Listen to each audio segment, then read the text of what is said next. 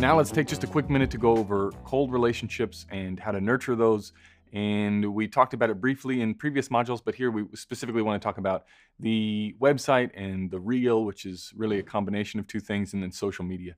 The biggest takeaway and the biggest thing you can do when you're getting started is be present, be there, be consistent, be uploading things, be keeping consistent so that people start to recognize that yes, you are not only producing work, on the website side of things, on the reel side of things, but you're also keeping active in the behind the scenes look on Instagram, on any of the other social media platforms that you might be on. It doesn't really matter what it is.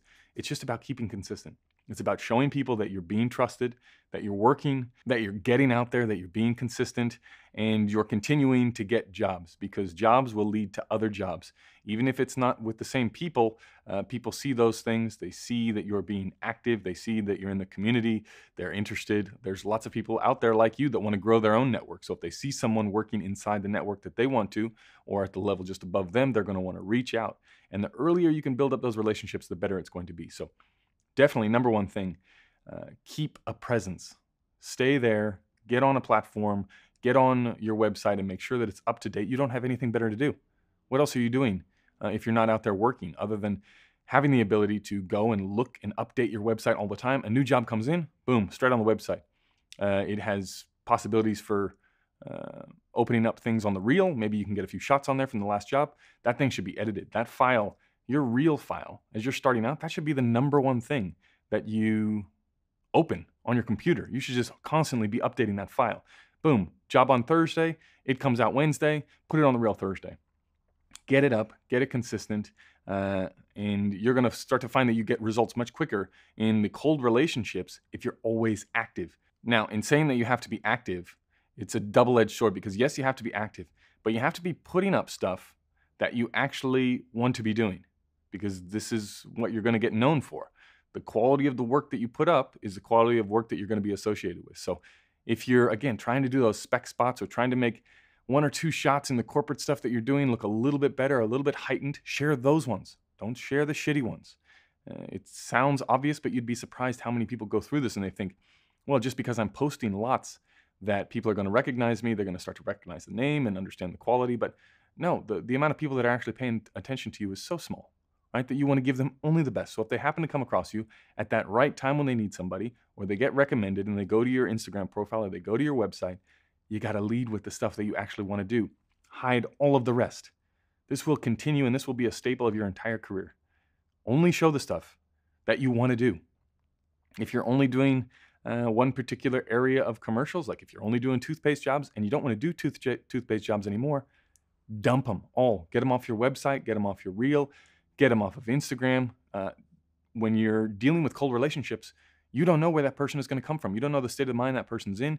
You don't know if they're looking for toothpaste or if they're looking for Nike, uh, right? You want to make sure that you're putting your best foot forward. So, whatever work you put up, that's the kind of work you're going to get. So, be intentional about the kind of work that you're sharing. One of the greatest parts about social media is that you can show level increase. So, you can share things that looks much higher quality right? No one's going to sit down, uh, or at least not a lot of people that you know or that are just randomly in the filmmaking network are going to sit down and watch a three minute corporate video. But if you share a couple of stills of that video that are slightly mm, higher level than what you're working at currently, that's what you're going to start to get associated with. So do that, share the high level stuff, dump the rest.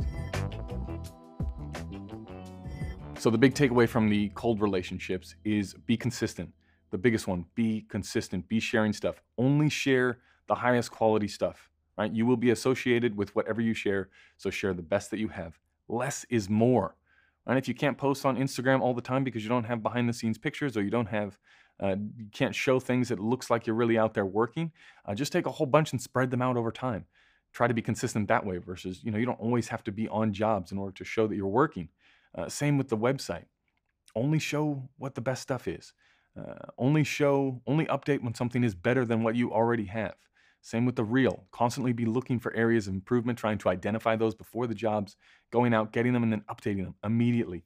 The reel should be front and center. We're going to get into reels. We're going to get into websites. We're going to get into the whole the whole business side of things uh, in the next chapter, in the business side of things. But for now, just know, be consistent, show only the good stuff, and less is more. Right? Less is more. Whatever you show, you'll be associated with. So show the best and continue to try and level up, show things, identify the target market.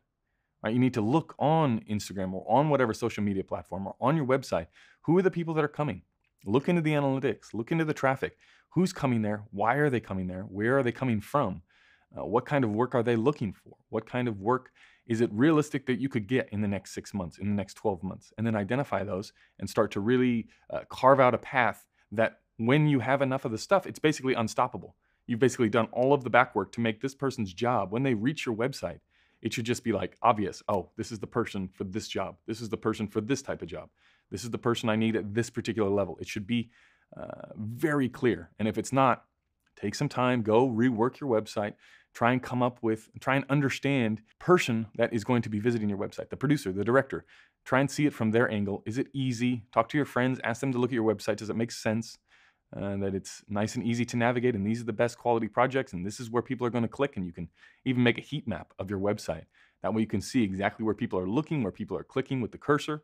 Uh, go through, take a little bit of time, and just try and hone these skills.